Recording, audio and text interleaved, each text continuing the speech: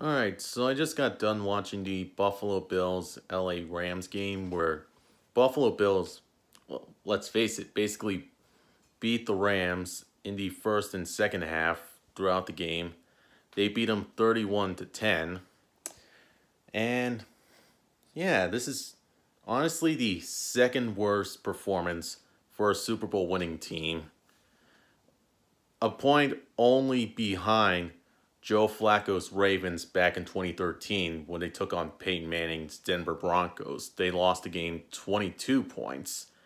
The LA Rams lost this game 21 points. And looking at the Bills' performance, it was definitely all motors go for Josh Allen in this game. And with the addition of some new players and with the addition of a shit-wrecking defender in Von Miller, their defense looks stouter than it did last year when they lost to Kansas City in the divisional round. So they tightened up on defense. They're still firing on all cylinders on offense.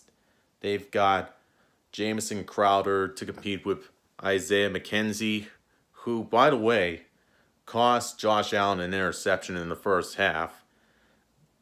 Yeah, one of those interceptions Josh Allen had wasn't his fault. Isaiah McKenzie just let it bounce off his chest as he was sliding to the ground. It ended up in the hands of an LA Rams defender. But the questions for LA Matthew Stafford doesn't look the same, obviously. He got some injector shots, was told not to throw the ball for sizable periods, so that had an effect on his game tonight. But even with that in mind, when you look at LA and you look at the talent they've lost in Von Miller, Odell Beckham Jr., and other guys for a stout offense and defense, looking at this game and looking at what each team is going to go up against the rest of the season, because we get a rematch with Los Angeles with the Buccaneers upcoming this season after we play the Dallas Cowboys and the New Orleans Saints and all those teams. Looking at LA, they're not the same team that won a Super Bowl last year. So, without that complimentary wide receiver to go up with Cooper Kupp and make defenders have to defend him, and without Von Miller in your defensive lineman to give Aaron Donald and Leonard Floyd and other Rams players good plays in order to make sacks and create havoc in the backfield. They got Bobby Wagner, sure, he's coming from Seattle, but even with Bobby Wagner calling the shots and leading the linebacking corps defense, losing Von Miller was pretty critical for the LA Rams because they weren't able to get Josh Allen for most of the game. They weren't able to get a decent pass rush off him. They got cornerbacks and free safeties just coming down the line when Josh Allen's throwing bombs to Stefon Diggs, who caught a 50-yard touchdown and came down rolling into the end zone. He beat Jalen Ramsey there. One of the best corners in the league, too.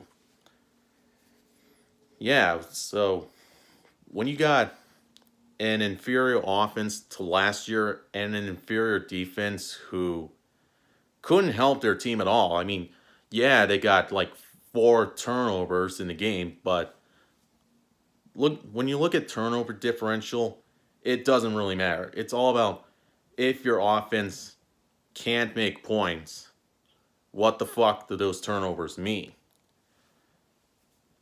And how long can you rely on the defense before it inevitably breaks down? That's where Buffalo's got them beat. The turnover difference in points scored. And for all the mistakes that Buffalo made, LA made the worst ones tonight. And the questions going forward for them is, how do they address all the lingering questions with Matthew Stafford, their weakened defense, the fact that Cooper Kupp won't be able to have an explosive guy like Odell Beckham Jr. around to put pressure off of him. Their running game still hasn't improved. I mean, Darrell Henderson got like 50 plus yards on the night, big whoop. And part of that being from when they were down three scores late in the fourth quarter against Buffalo. Buffalo was just at, letting them have those yards.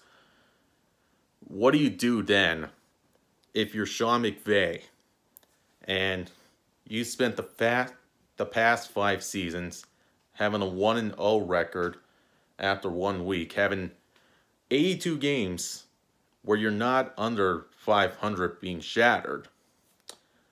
What do you do then?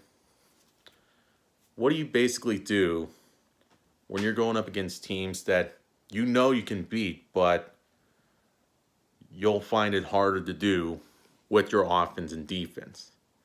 And I think the big question for Buffalo is with their new improved passing options in Jamison Crowder to compete against Isaiah McKenzie, and with a stellar defense, it begs the question why couldn't Buffalo beat Kansas City last year? And what will we expect out of this year? Because I know Buffalo is going to win the AFC East division because looking at the guys they play, the New York Jets, they're just going to be the Jets. Tua Tagovailoa, he might have a good season, but you know he's going to make a wild card round at best. And with the New England Patriots, the New England Patriots are not the same team without Tom Brady. We saw that happen when the Patriots got blown out by the Buffalo Bills in last year's wild card round. So, don't expect them to win the division anytime soon against this stacked Buffalo team. So Buffalo's going to win the AFC East this year. So where do they go from here? My prediction is they make it all the way up to the conference championship, go up against a rough and tough team like Kansas City. They'll hopefully learn from last year's 13 seconds that got them an overtime loss. And their defense will step up, take them finally to a Super Bowl, and they'll probably have to face someone like, I don't know, maybe Green Bay, Dallas, Tampa, depending on how the season goes for us with Tom Brady and his new weapons such as Julio Jones and Russell Gage and all that. And Cade Otton to replace Rob Gronkowski as the starting tight end. So, Buffalo could go conference championship or Super Bowl appearance. That's where I see Buffalo at.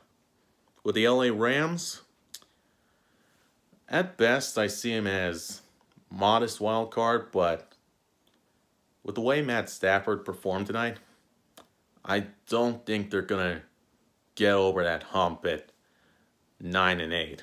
They might, they might be nine and eight, but I'd expect seven ten out of them, if not a full collapse, and going five and twelve. That's where I see them at. So overall, questions that need to be addressed on both sides. It seems Buffalo might have the answers, but with LA, Gonna be looking like a grim future for them.